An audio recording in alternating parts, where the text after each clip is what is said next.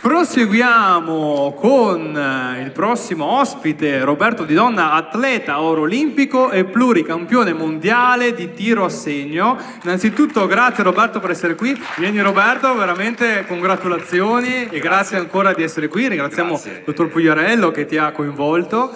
E, Mi ecco. ha seguito soprattutto il dottor Pugliarello, ho fatto un percorso con lui prima delle Olimpiadi e anche dopo, insomma mi ha seguito da vicino, dunque devo dire ancora grazie a Rosario per l'ottimo lavoro insomma, che, che, abbiamo fatto insieme, che abbiamo portato avanti. E vi dico, non, ho, non mi sono mai fermato a rivedere questa finale. Mi capita di vederla a volte quando vengo invitato ad alcune manifestazioni perché è una cosa comunque emotivamente ancora un po' mi, mi tocca. Eh, certo. E, ehm, intanto grazie, sono molto felice di poter parlare, di poter parlare, di portare un, in realtà un piccolo saluto perché è stata una giornata estremamente interessante, ho sentito delle testimonianze straordinarie da parte di tutti gli invitati, ho delle affinità con Andrea perché eh, chiaramente chi vive di sport e chi fa lo sport e chi dedica una vita allo sport ha comunque delle affinità elettive. No? Dunque per me è stato molto interessante sentire la, la testimonianza di Andrea quando,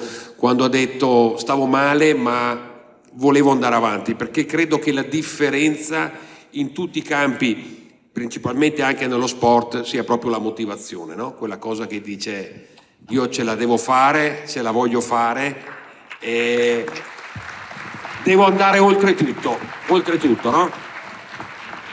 Io ho vinto l'Olimpiade perché sicuramente Wang all'ultimo colpo non ha tirato bene, ma ci ho creduto fino alla fine. E una gara finisce quando si taglia il traguardo, né un secondo prima né un secondo dopo.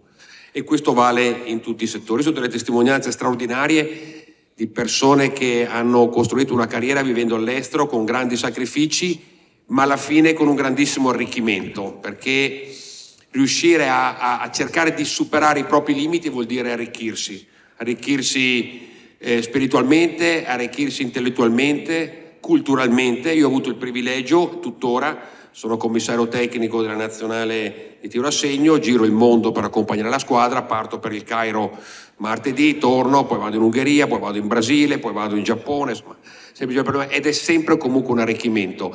Io quello che posso dire è che se si parla di sport, lo sport non è solo professionismo, lo sport è gioco, lo sport è vivere bene il tempo libero, con divertimento, lo sport insegna a rispettare se stessi, a superare i propri limiti, ma soprattutto a rispettare gli altri. Viviamo in una comunità, abbiamo bisogno del rispetto, abbiamo bisogno dello stare bene insieme, abbiamo bisogno dello star bene fisicamente.